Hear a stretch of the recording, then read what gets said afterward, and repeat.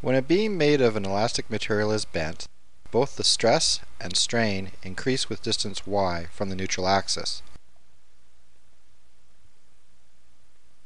At a certain point, the material cannot carry any more stress.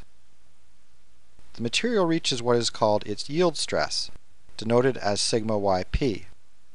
If the beam is bent more, permanent deformation occurs.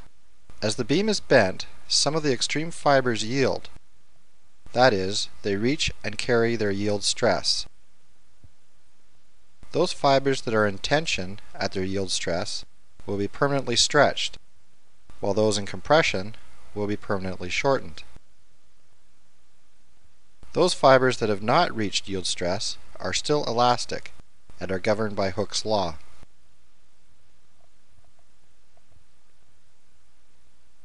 In summary, Stress is linear with respect to y in its elastic range, but in the plastic range does not exceed the yield stress.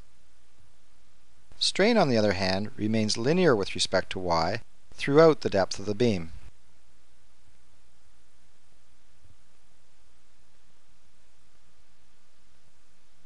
Another way of looking at the relationship between stress and strain in the elastic plastic case is to use the stress-strain curve to determine the stress at each point.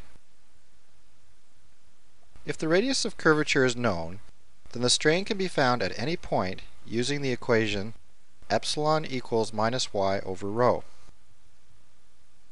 The fiber shown in green is in its elastic range.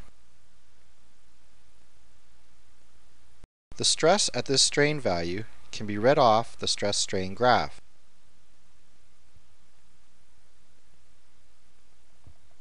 For another point further from the neutral axis, the strain is above the yield strain, epsilon yp,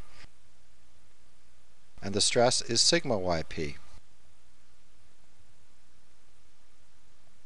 By repeating this process, the stress at all points across the depth of the beam can be found.